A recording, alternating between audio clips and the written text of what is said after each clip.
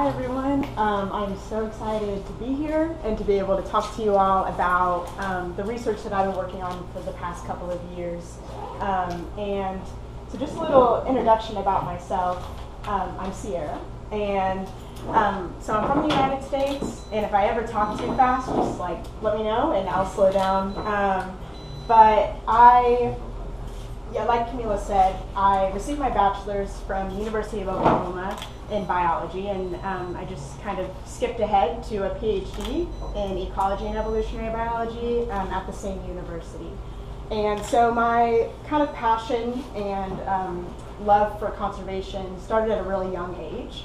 And so I would watch nature documentaries and wildlife shows all the time, and um, just really started to develop an interest in conservation and um, of wildlife in particular.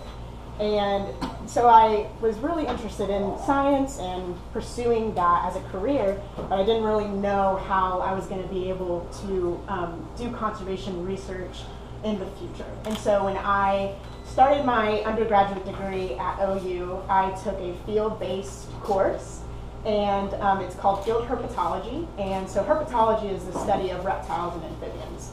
And so this course um, was really interesting because we got hands-on experience with um, catching animals and doing applied research during this kind of two-week course where we were outside and in the like ponds and in the streams and really getting to see this biodiversity um, hands-on was really amazing. And the instructor of that course uh, was named Cameron Siler. And so after that course, I started working with Cameron as an undergraduate researcher in his lab. And um, he kind of exposed me to uh, this kind of research avenues that I could pursue as a career potentially. And so I um, kind of latched on to this idea of uh, studying the health of reptiles and amphibians. And um, Cameron's lab has a lot of different uh, kind of everybody in the lab kind of has different avenues of research that they're pursuing. But kind of the main objective of Cameron's lab is exploration and conservation of reptiles and amphibians, particularly in the Philippines. And so there is kind of this global loss of biodiversity everywhere. And so the objective of Cameron's lab is to kind of explore the patterns of um, the species, the distributions, and the phylogenetic relationships between species, and how we can um, conserve them and conserve their habitat. And so, particularly, I was uh, kind of blown away by how threatened amphibian species are. And nearly one third of all, all amphibian species are facing declines or extinction. And there are a couple of reasons why this is happening, and these can be like applied to other taxa as well. And um, but what I kind of noticed was all of these studies being published on just how um, kind of how dire the need is to do this research of amphibian infectious diseases and how they're uh, impacting communities at a broader scale. And so a little bit about these infectious diseases. There are kind of three main amphibian infectious diseases. Two are fungal and one is viral. So the two fungal uh, pathogens, BD is uh, infects frogs, and B. sal only infects salamanders. And um, luckily, there's no B. sal in the Philippines, um, but I'm interested in kind of sampling the frog communities in the Philippines and um, kind of uh, looking at BD infection in particular. So there are a couple of active research areas in the broader scale of amphibian infectious diseases. So there's kind of monitoring and detection, and so you can um, monitor a site that has previously experienced infection and uh, detecting new sites that not necessarily the communities aren't really infected yet. And so um, both this area is really important, especially um, in areas that are uh, have species of like greatest conservation concern, and so species that are really rare. Um, it's important to monitor sites where they're found to make sure that the health of the community is um, intact. so um, the other kind of area is species resistance. And so there's species that can actually have the pathogen and be infected by the pathogen but not die from it. But they can be carriers of the pathogen and spread it to other species that may be more susceptible to infection. And so one like kind of novel case is uh, the American bullfrog. And it's an invasive species in the Philippines and it can carry the pathogen and, and essentially be resistant to the effects. But when it comes into contact with water where other species are present or skin to skin contact with other uh, species that may be more susceptible, it can infect those individuals just by being in the same area. And so there's a lot of active research on what species are resistant and can be carriers versus what species are more susceptible to mortality events and being infected. And the area that I'm uh, really interested in is kind of the relationship between skin bacteria and um, the presence of the, this, uh, this infectious disease chytrid. And so um, I'm interested in looking at what communities of bacteria, um, so the kind of the phylum, the uh, taxa of bacteria that are present when an amphibian is infected versus bacteria that may be um, helping in the uh, animal's ability to fight off the pathogen. And so um, a little bit more information about what chytrid is. It's a fungal pathogen that inhibits the frog's ability to breathe through its skin. And so um, frogs absorb uh, moisture and they absorb kind of oxygen through their skin. And so when this bacteria gets on um, their skin and infects them, then they lose that ability to breathe. And so they basically just die from um, cardiac arrest. They just can't get enough oxygen. And um, it can spread rapidly in the community because it's transferred in water. And so um, if an infected individual like sloughs off the pathogen into the water, it can infect other individuals present in that water body. Um, and it can, uh, in the species where it is particularly um, harmful, it can cause massive mortality events. And in the neotropics, which is Central and South America, this pathogen is actually like caused extinction of an entire species and um, has caused a lot of death of amphibians all throughout the um, Central, South, and North America region. And um, it basically so uh, like kind of my interest in research is um, this idea that this pathogen affects the micro my, the microbial communities that are present on the skin and those microbial communities serve a lot of different purposes. So they're symbiotic with the host. And we don't really know all the function that the microbes can have, but we do know that they can kind of, microbes are so important for the health of the organism. And so when you eliminate those bacterial communities, you're eliminating the other beneficial effects that those microbes might have had with the host. And so it's kind of a double-edged sword where you're the, the individual is infected and sick, but it's also losing um, kind of critical bacteria that help it um, live just generally um, and potentially fight off the pathogen as well. So as I started getting involved in Cameron's lab and started pursuing independent research, I um, began to be really interested in the Philippines generally. And so um, Cameron has an active research program in the Philippines and has worked here for close to 20 years now. And uh, he took me along with um, a few other students on two expeditions, uh, one in 2017 and one in 2018. This is actually my third visit to the Philippines. And we were able to collect samples from kind of those mid, uh, those two little dots on Luzon, like the uh, Luzon mainland, in 2017 and sample amphibian communities on those two at those two sites. And then in 2018 we went to the Babuyan Island group, which is the northernmost island group, um, and sampled frog communities present on those islands as well. And what was interesting is that even though this pathogen is causing these massive die-offs infection rates in the neotropics, we're really not seeing that level of infection here. And so I, I was kind of uh, surprised by this because um, what is making the amphibians in the Philippines different from these other amphibian communities. And what's also interesting is that a study was published from um, some folks at the Nat National Museum of History. And they found that um, Mount Palay-Palay, which is down in Cavite, uh, the amphibian communities there experienced uh, a high level infection. And so now I'm thinking, what is different from amphibian communities on this mountain versus the sites that we sampled in um, the paper that we just published? And so this study in particular, kind of why I'm here, is to assess infection presence and um, sample the skin bacteria of frogs from Mount Palay-Palay and compare those to the bacteria and uh, infection rate of other mountains across Luzon and down into the Bicol Peninsula. So um, the red dot shows Palay-Palay, and um, those black dots represent sites that are deemed to be uh, absent or chytrid not sampled yet.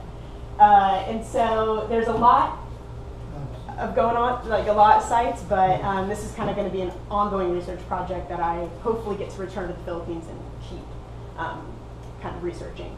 And so along with comparing mountain to mountain, I'm interested in kind of zooming in to uh, elevational gradients. And so dividing each mountain into different elevational gradients and comparing um, the presence of chytrid and the what bacterial communities are um, changing with elevation as you kind of increase. And so um, it's kind of interesting because chytrid is known to be uh, affected by um, temperature and precipitation. And so as you increase in elevation, the uh, temperature and precipitation levels change as well.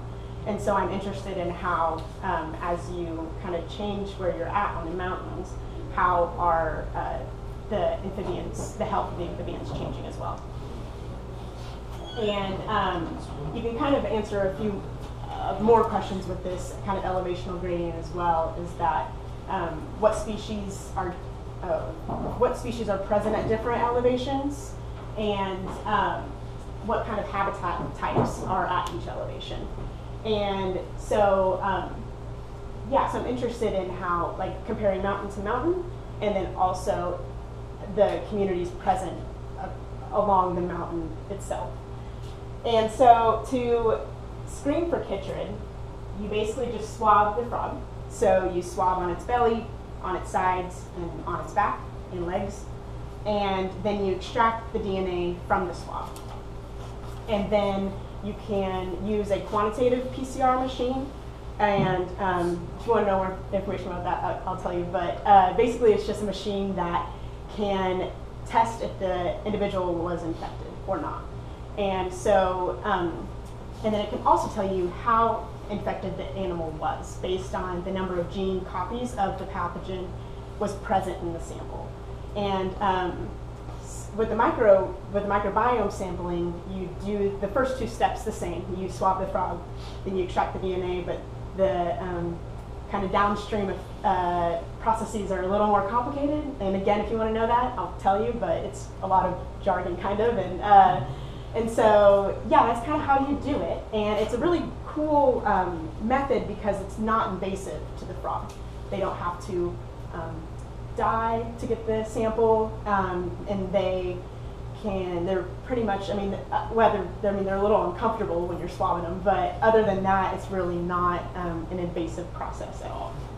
And um, so, even though my research is focused on disease and microbiome, when I do these general surveys, you get a lot of information from these individuals. And so um, these surveys are so important because they can provide so much more data than your original research kind of focuses on. And so even though I'll be focusing on these elevational gradients and comparing mountains and uh, swabs, so, many, so many swabs, uh, I can still collect generally and sample the reptile and amphibian diversity at these sites as well. And we can collect all sorts of data from these kind of um, research expeditions and things like that. And so, yeah, I'm so excited to be here. I'm so excited to uh, be able to spend an extended period of time in the Philippines. The, my past trips have only been for a month, and now I'm here for 10. So I'm so excited. And um, you guys have really, really cool reptile and amphibian diversity. It's really awesome. And so I'm just so grateful to be here. And thank you so much for coming and listening to me. Um, so here are my collaborators and my funding sources. And if you have any questions, I would love to take them.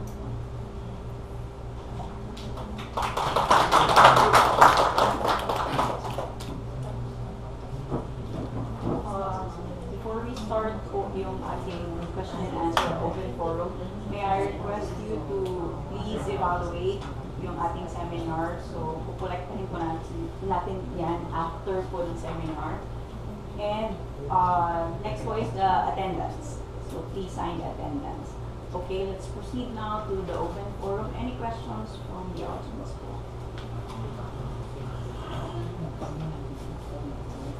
Yes, Ma'am Letty. Yeah, good afternoon. Sorry, I'm late. I, I caught the last part. but I was just hearing you getting the bacteria uh, aside. This is aside from the chytrid because the chytrid is a fungus, Yes. and so you expect uh, different. Have you had like backgrounds on expected bacterial uh, microbiomes already? Do you have that? Yeah, there's been um, a lot of work done on the relationship between chytrid fungus and the bacterial communities on the skin um, in the neotropics. And so there's a few labs from the United States that have sampled amphibian communities in Central and South America, um, but that same research has not been done in the Philippines quite yet. Yeah. Um, and so we do have an idea of the, the bacteria that are kind of um, predicted to help fight the pathogen and the bacteria that are predicted to um, be absent when chytrid is present, if that makes sense. And so chytrid can kind of um, inhibit certain bacteria from persisting on the frog. And so you can kind of um, see changes in the bacteria that are present based on if the frog is infected or not.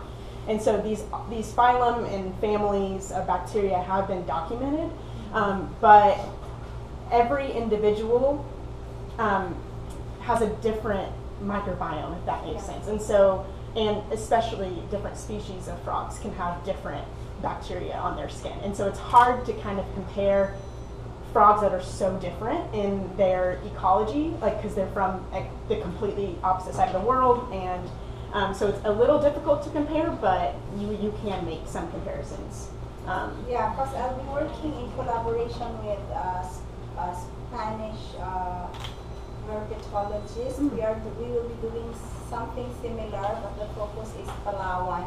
Okay. But we're trying to compare microbiomes Mm. uh, between space and time Yeah. because they had uh, long years of data from somewhere Puerto Rico area and they would like to those and they, they have other spots out there but we'll be comparing just like mountain and habitat comparisons Very microbiomes also Awesome. and so doing this Mount Makiling for me would be an interesting uh, information because we can also compare Luzon for Yeah. Mount Makiling and Palawan. Yeah, absolutely. The study here is going to start by May Okay. in Palawan. Awesome. Wow, that's really great. If you want to go to Makiling, let me know. The natural history of Madrid, museum of Madrid.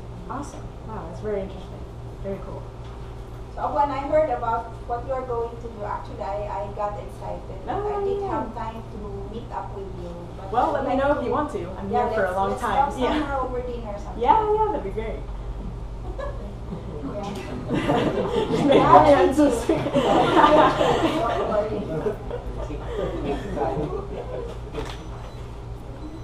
yeah. I'm just wondering, um, you said the American bullfrog. Um, are there other, is there other avenues where you think the, the fungus could go in? I don't know, especially the Philippines has a high non-native population of cane toads. Hmm. So I'm wondering if it, if, yeah, a cane toad. I'm wondering if they could also be carriers of the fungus itself. Yeah, so the um, invasive species generally um, can, when you, when they're coming in from, say, a cane toad comes in from uh, mainland Asia or um, Australia or places that may have higher prevalence of BD, they can absolutely bring it into the Philippines, which is unfortunate. And they cane toads, as everybody knows, can spread rapidly. And um, as they spread into the Philippines, then yeah, they can most definitely carry the pathogen and um, spread it to communities. Um, so yeah, the the bullfrog I just mentioned um, because it's really uh, really caused um, kind of a massive mortality event in Japan, and so that was just the first one that came to my head. But cane toads definitely are one of as well. Just follow up. I'm just wondering if the fungus is an example, is already present. And is there any way to stop the fungus? Is so like Yeah, so there's um, labs. There's a lab in Australia and a lab or two in the United States that are actually um, experimentally trying to develop a probiotic um, and kind of almost a cure. Uh, and so that's great in theory, um, but uh, environmentally, I'm, I'm not sure if releasing a uh, kind of lab-made cure, we don't really know how that would affect the, the environment as a whole.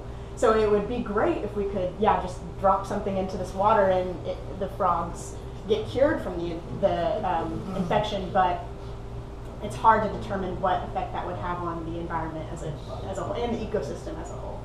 Um, so yeah, it's a great idea, and I would love to see these frogs, you know, kind of healed from this, but you know, there's no really, there's no way to tell the kind of downstream effects it would have. so. I don't know, I don't know. Um, in the states, I don't know. I'm just wondering. In the states, what's the update of the fungus in yeah the children fungus in the states? So yeah, um, it kind of depends where you are. There's been um, massive mortality events in California um, and in certain regions of the United States, but uh, I published another paper actually um, surveying the amphibian communities from Oklahoma, the state that I'm from, and uh, you do see kind of like a 30 to 40 percent infection rate, um, so still high, um, but it seems to be the concentration of the pathogen is seems to be in Central America.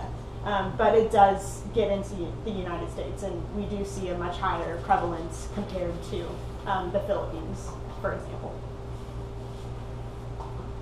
Yeah.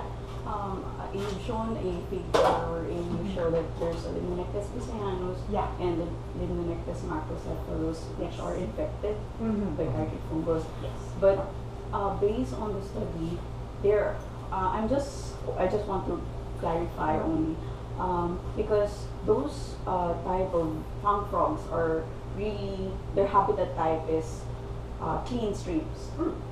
So, what do you think is the factor why they got that, aside from the Limnonectes woodworthi, which can thrive on a disturbed area?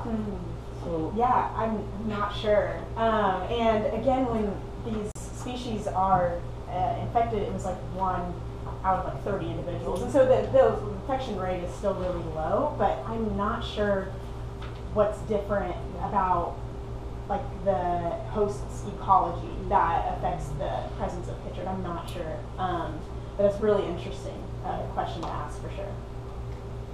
Yes. I always thought that about Chytrid because of the massive die-outs of a lot of species in South America. We always think about it as something that is an extinction level event Yeah. for, for frogs. But there is always that kind of balance for some species Yeah. where you get um, infected but you don't actually die. Yeah. So that would be a good proxy for say, uh, would that be a good proxy for say fitness? Yeah, yeah, honestly. And there is actually, there was a paper published relatively recently basically hypothesizing that frogs in the Philippines and in Southeast Asia in general are experiencing these low levels of infection because they've already un- undergone um, infection in the past. And so there's this hypothesis that the um, strain of Chytrid that's causing the massive die-offs originated in Asia. And so these frogs have already undergone, and kind of natural selection um, did its work, and now they're immune to the pathogen. And so there's this, uh, there's no way to necessarily confirm that, but there is like this hypothesis, and the paper published in Nature, and it was like a big, big deal, yeah.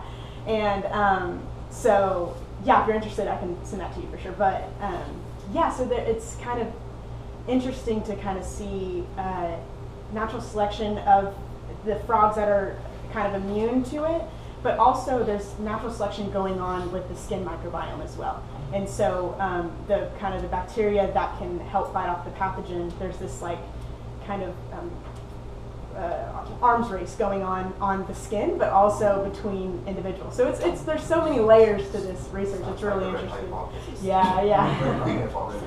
yeah. Yeah. Hi, Sharon. Congratulations with your talk.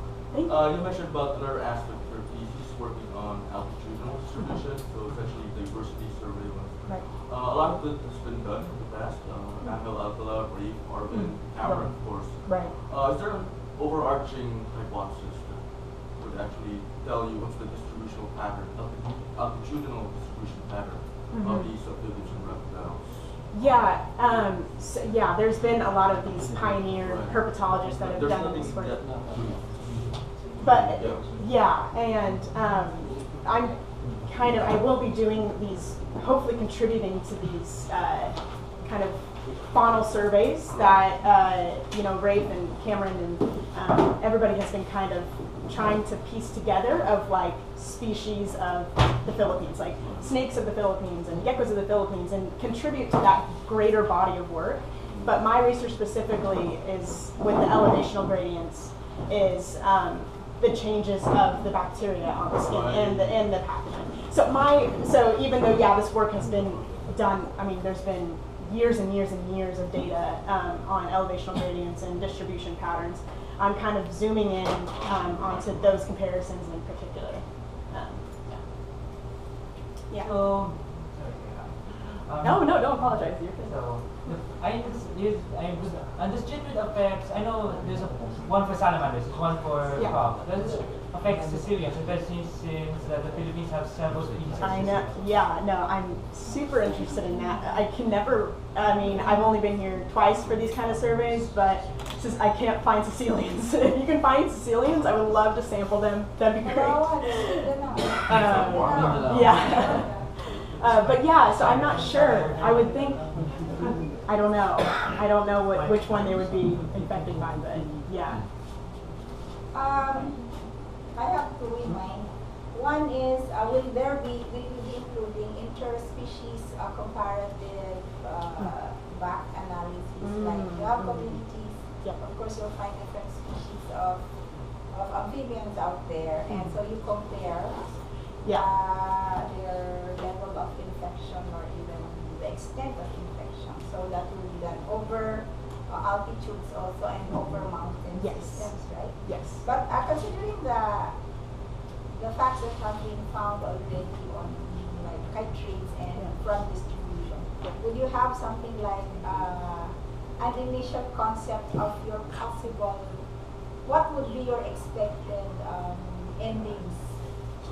Yeah, predictions for the for your for your research. Would Um, you have something in mind already, such that, like for example, no, since chytrids are more sensitive to temperature, Yeah. we would assume somehow that in the higher altitudes there will be more possibilities of chytrid uh, Yeah. presence and Absolutely. also the extent. Mhm. Yeah. Yeah, absolutely. So um, kind of seems to uh, grow rapidly and, and uh, persist in colder temperatures. And so I would assume at higher elevations that Chytrid would be more present. But then you also have this um, kind of idea that the, high, the higher altitudes are going to be less disturbed. And so it's I'm interested in looking at these. Is it is it temperature? Is it the lack of disturbance or the presence of disturbance? There's just kind of there's so many players in this in this kind of um, hypothesis that we, we don't really know. I don't I don't know if it's How will you protect yourself from being a carrier of the chytrid? yeah it's a Uh, huge uh, yeah I know it's a it's a huge problem. How will problem. you ensure that you are not the one going to carry the chytrid? Yeah, yeah. So you bleach the bottom of your boots when you go when you go into um, different So water I'm bodies. Just reminding you, Just don't bring the kids. Just read Don't. Uh, I won't. I won't. I won't. I haven't seen them do those. I won't. I won't. Uh, I won't call it on rape and I can't Never. steal places, but yeah. Uh, yeah. I think that's something a lot of people in the field has to do now. Is to be more. It's not just about any barriers between people, but also things that they can bring in between sites. Absolutely. Yeah. Mhm. Yes. Do kid, does kid adapt very quickly, for example, in new environments, or do they mutate very easily? I'm not sure. I don't know the answer to that. No. He seems to. No. Okay, good. No, they don't. Viruses, no. Compared no. okay, no. Questions before?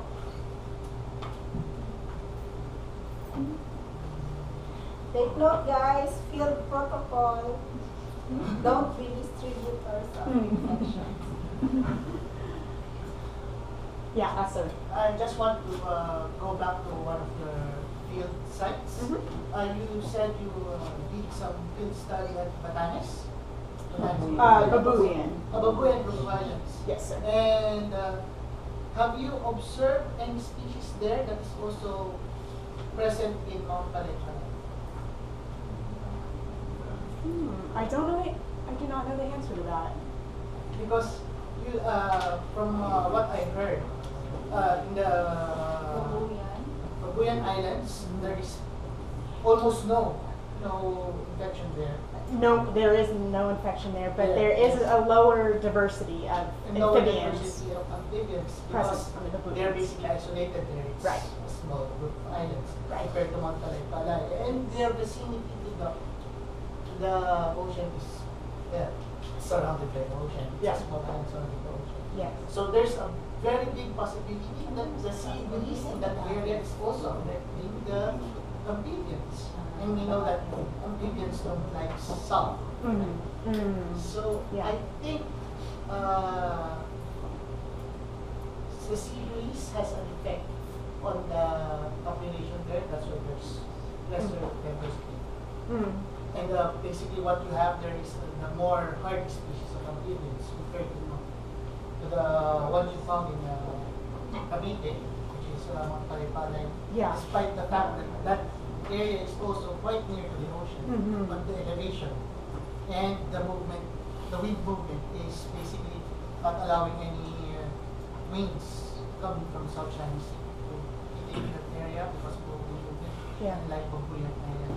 So I think uh, the skin of those individuals in the Babuyan area, is the, their, what do you call that, skin is, well, what do you call that? The microbiome. Hardy. Oh, hard. They're more.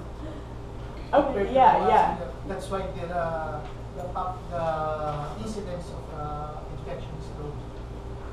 Yeah, that that could be it. Yeah. Um, but I think because there's a, a very the area in Babuyan Island is very near to the one of the major convectional currents in the planet, mm, mm, which really uh, brings in a lot of sea breeze Mhm. in that area.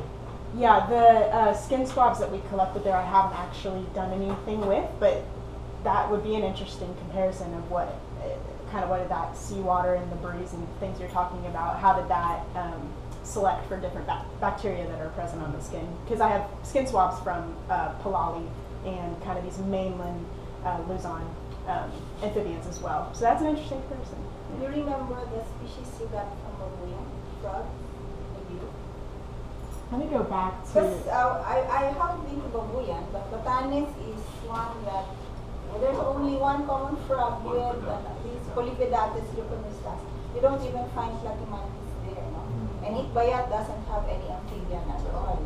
So the Long Island of Itbayat in Batanes doesn't. This Really? Or maybe rare, we did find I don't know if any there's amphibian.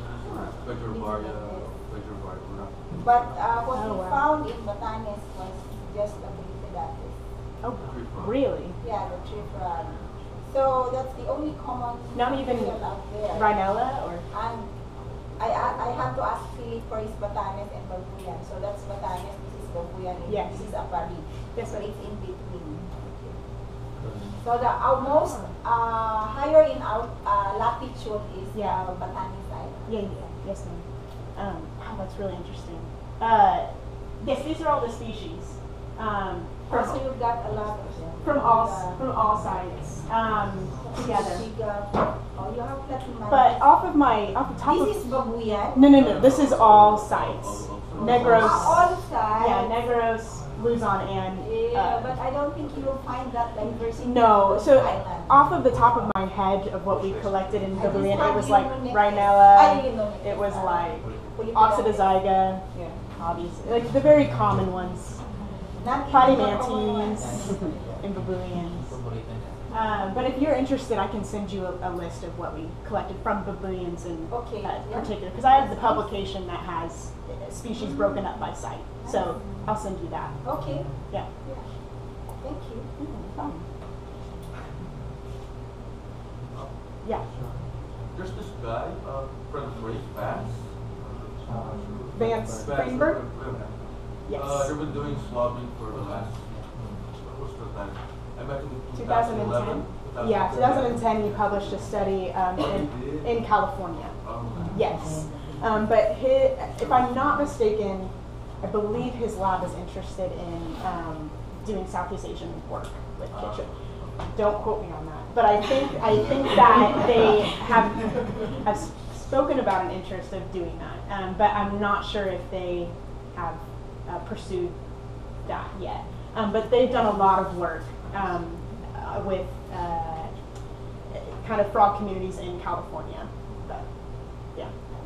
But they haven't published yet after 2011. I I remember meeting in 2012. And then I'm not sure. Uh, you might have papers from him, but I, I only know of like the 2010 paper Yeah, from I think I only have the, the Asian-wide, Southeast Asian-wide Uh, paper from Swei. So, yeah, so the only studies that have been published um, of uh, amphibian infection in Southeast Asia are a study in 2011 by Swei et al. Uh, 2000, yeah, 2011, and um, it was kind of a Philippines was included in a broader Southeast Asian um, chytrid presence, um, and then the this paper from Mae Diesmos. Uh, and so there's really just those two, and then the one I just published in December. So there's a need. So if you're interested in amphibian disease, this is a great place to do it because um, there's kind of uh, not very much information on it on the Philippines. More questions before? Questions? I'm just uh, Yeah. interested in the the one you showed the no pathogen detection. So most uh, we're saying a while ago that Rhinella can be a culprit for the transfer of the, but out of four four sites, I think Uh, so. eight. Ah, eight sites. No, no First. pathogen detected for Rhinella. No.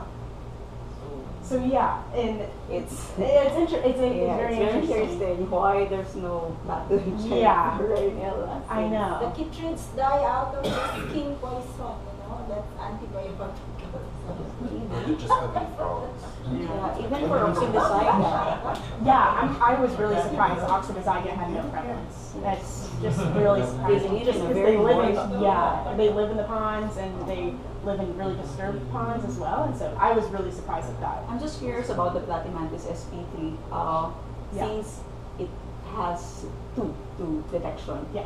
So I'm wondering if it's a arboreal species or ground species. Yeah, I'm not sure. Um, yeah, I would have to go back and I again I have a data file where it has uh, kind of a short description of its Because habitat. it's very interesting if it has a very different habitat type. Yeah. It has the very different Yeah, and species. that one client is out of what's making it different from the other two. Um, yeah, very interesting questions.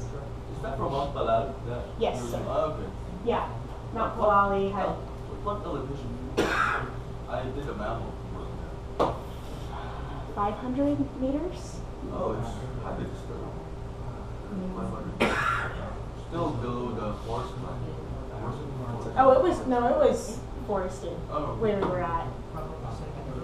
But it was there was like hiking trails and things like that, um, and we did sample a higher elevation, um, which was where we found Sanguirana. Both Sanguirana species um, were present at the higher elevation, which was more like above a thousand meters, um, and yeah, so it was not nearly at the base of the mountain. It was still a little disturbed, um, but not as bad as like we went to the dot right um, above Palali on uh, Luzon was Gatarin, which was like really disturbed. Um, and so it's interesting that there's no infection there. So there's just so much going on here. There's so many different. Uh, what's that? They eat frogs.